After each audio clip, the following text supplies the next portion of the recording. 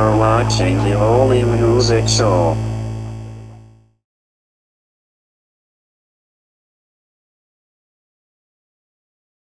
Yeah.